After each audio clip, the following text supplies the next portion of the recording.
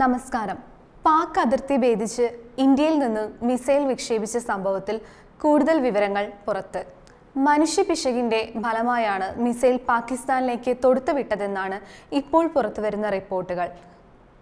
സംഭവത്തെക്കുറിച്ച് അന്വേഷിക്കുന്ന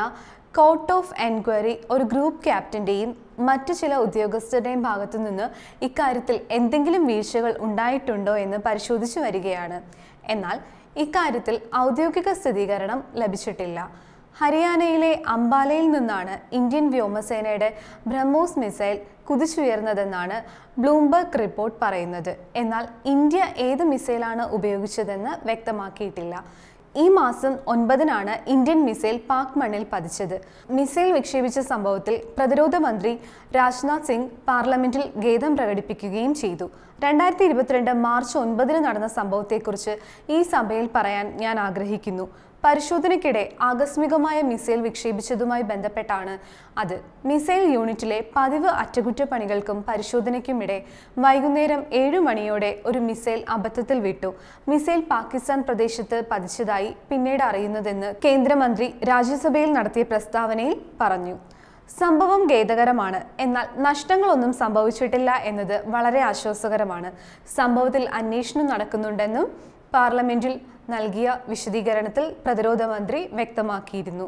അതിർത്തി ഭേദിച്ച മിസൈൽ പാകിസ്ഥാനിലെ ഖനേവേൽ ജില്ലയിലെ മിയാൻ ചെന്നുവിന് സമീപമാണ് പതിച്ചത് ആളപായം ഉണ്ടായില്ലെങ്കിലും മിസൈൽ നാശനഷ്ടമുണ്ടാക്കിയെന്നാണ് പാകിസ്ഥാൻ ആരോപിച്ചത് സംഭവത്തിൽ അവർ കടുത്ത പ്രതിഷേധം രേഖപ്പെടുത്തുകയും ചെയ്തു വിഷയം അന്താരാഷ്ട്ര തലത്തിൽ ഉയർത്തിക്കൊണ്ടുവരാൻ അവർ ശ്രമിച്ചെങ്കിലും അതൊന്നും വിജയിച്ചില്ല അബദ്ധത്തിൽ സംഭവിച്ചതല്ലാതെ മറ്റൊരു സൂചനയും ഈ വിഷയത്തിൽ തങ്ങൾക്ക് ലഭിച്ചിട്ടില്ലെന്ന് അമേരിക്കയും വെളിപ്പെടുത്തി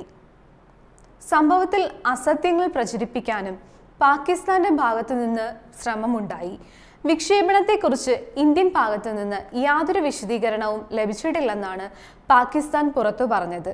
അബദ്ധത്തിൽ മിസൈൽ പറഞ്ഞതിന് തൊട്ടു പിന്നാലെ തന്നെ ഇന്ത്യ പാകിസ്ഥാനെ സംഭവത്തെക്കുറിച്ച് അറിയിക്കുകയായിരുന്നു എന്നാൽ ഇത് പാകിസ്ഥാൻ മറച്ചുവെച്ചു ഇതിനു പുറമെ തങ്ങളുടെ അതിർത്തി ഭേദിച്ച് മൂന്ന് മിനിറ്റും നാൽപ്പത്തിനാല് സെക്കൻഡും കൊണ്ട് നൂറ്റി ഇരുപത്തിനാല് കിലോമീറ്റർ പാക് ആകാശത്ത് മിസൈൽ സഞ്ചരിച്ചു എന്ന പാകിസ്ഥാന്റെ വെളിപ്പെടുത്തലും അവർക്ക് തന്നെ തിരിച്ചടിയായി ഇത്രയും സമയം ലഭിച്ചിട്ടും പാകിസ്ഥാന്റെ ആകാശ പ്രതിരോധ സംവിധാനം പ്രവർത്തിച്ചില്ല അവർക്ക് മിസൈലിനെ തടയാനും കഴിഞ്ഞില്ല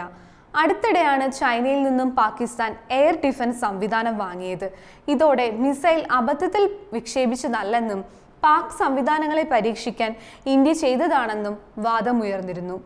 ന്യൂസ് ഡെസ്ക് തത്മൈ